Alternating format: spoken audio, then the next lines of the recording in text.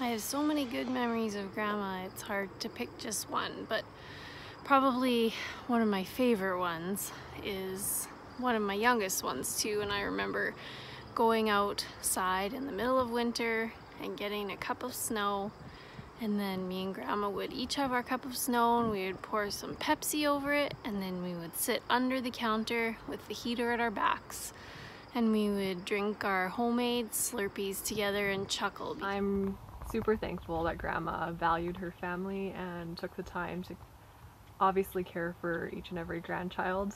Uh, that's been obvious since the first time I've met this family. Some of my favorite memories will always be our walks to Frank's to get a cold Slurpee, uh, sitting in Tim Hortons and getting a cold face wash after a beautiful chocolate donut, and uh, losing at contract rummy every time. No matter how many tricks Grandma pulled, I would always still lose with too many cards in my hand. Uh, and also Grandma's prayer. She was always praying for us as kids and grandkids. Uh, she just loved us so much, and it was so evident.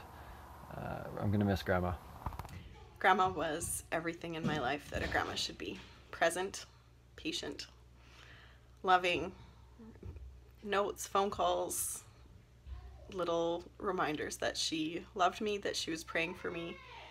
She was there through every milestone. I have lots of really fond memories of grandma, lots that make me smile and make me laugh. She used to use her sharp elbows on my ribs in church when Christy and I got too giggly. I remember grandma giving Christy and I marriage advice about when we were cold that we should just warm ourselves up on our husband's thighs.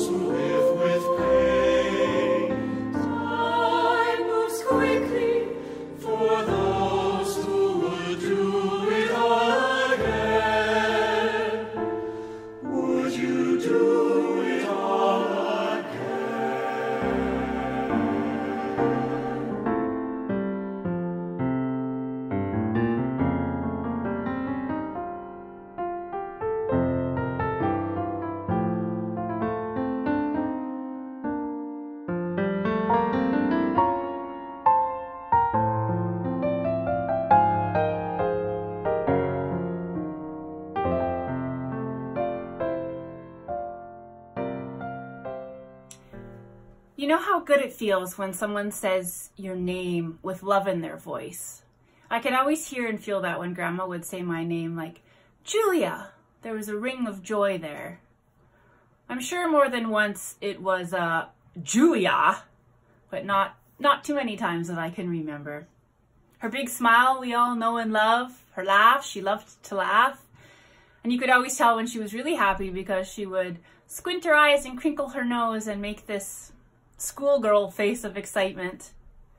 I'm so grateful I got to spend all the summers on the farm with Grandma. She so lovingly cared for us and she fed us that love with Rollkuchen, Vareniki, fried noodles, crinkle cookies, her deadly chocolate cake, and those milkshakes. What was the secret to those milkshakes, Grandma? Watching her smother her warm, soft farm hands with Noxzema, setting her hair in rollers, driving to town for Slurpees, or driving down the bumpy road to bring Grandpa his lunch, his big old hipster mason jars filled with ice and Coke.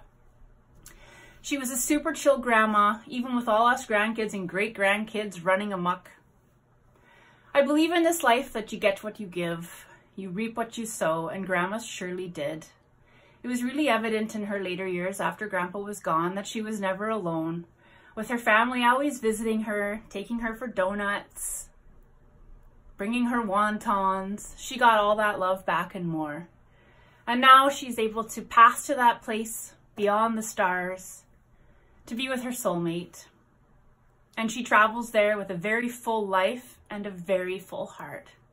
I'll always love you, Grandma.